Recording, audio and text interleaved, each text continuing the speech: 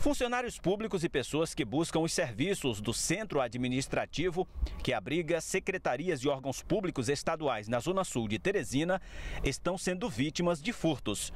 A acusação recai sobre pessoas que se passam por flanelinhas e pedem para lavar os veículos. Enquanto conversa com o proprietário do automóvel, ele segura a maçaneta do carro, deixando a porta entreaberta para praticar o furto em seguida como demonstra esta mulher que prefere não ser identificada e que teve um aparelho de celular roubado na semana passada. Mas outras pessoas tiveram prejuízos ainda maiores, segundo ela. Eles abordam pela frente do carro na hora que você chega, perguntando se quer lavar. E aí, nesse momento que ele está falando contigo, ele está abrindo a porta de trás do carro, certo? Aí, aí você sai, fecha o carro e sai. No momento que você dá as costas, um fica olhando entendeu? E aí outro já está preparado para receber a mercadoria, ele abre, tira os bens que tem dentro do carro, fecha normalmente e sai. Quando você volta o carro, você vê que tem alguma coisa faltando, né? Eu vou falar que teve gente que já foi roubado notebooks, celulares. Eu ouvi falar 40 mil reais, entendeu? De um funcionário também. As situações mais frequentes de furto estão acontecendo nas proximidades do centro administrativo, aqui próximo à Avenida Maranhão, exatamente por serem locais mais distantes dos prédios públicos.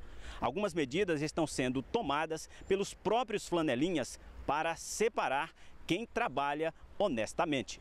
Este flanelinha que prefere não ser identificado e que trabalha há mais de 15 anos no centro administrativo, afirma que uma lista com quem trabalha honestamente no local foi entregue à administração. Nós fizemos uma baixa assinada para tirar o, o, a maioria dos ladrões, só ficar os antigos mesmo que não mexem em carro, que faz tempo que trabalha aqui na Secretaria de A confiança, é a confiança das pessoas. Deixa a chave de carro.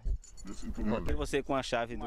Com a, com a maioria da chave dos carros e nada acontece com nós não. Confia, deixa lá com vocês e para lavar o carro e depois entregar o carro. É, confia a chave de lava normalmente, entrega a chave. Há quanto tempo aqui? Está com mais de 20 anos. Essa lista dizendo quem é que trabalha honestamente, desenvolvendo a atividade aqui, vocês entregaram para alguma autoridade é. aqui? É, então tudo, tudo é, é, a organização que organiza sabe quem é tudinho. A informação é de que os furtos estejam sendo praticados por pelo menos três rapazes que seriam usuários de drogas e que praticam estas ações para alimentar o vício.